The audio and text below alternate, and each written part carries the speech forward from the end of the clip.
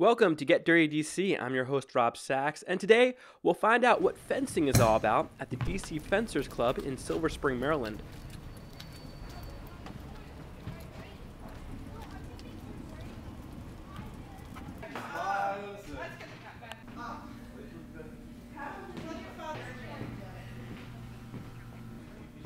The club is run by Janusz Slominski. Here he is training Amanda Sirico, the top rated female nationally in the under 14 category.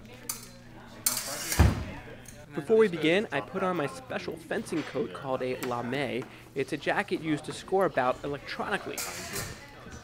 Byron Nesland is a highly ranked fencer who hopes to make it to the Olympics one day. Byron hooks me up to the scoring machine, which registers hits, or as they're known in fencing parlance, touches. Let's get it on. It takes five touches to win a bout. Now, Byron has pretty much been toying with me because my fencing form leaves much to be desired. Getting touched or hit hurt more than I thought it would. Ow. That kind of hurt a little bit. Um, I thought it'd be like Nerf. Even slow motion didn't improve my form, and it made me sound a little bit like a pirate. To make matters worse, Byron said that I'd probably get welts from all those touches, and I did.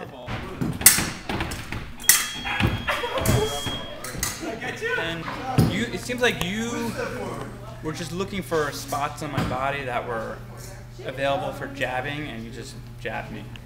Pretty much. Pretty much. Thanks for joining us for this edition of Get Dirty DC. I'm Rob Sachs, and if you'd like to learn more about fencing at the DC Fencers Club, go to our website, metroconnection.org.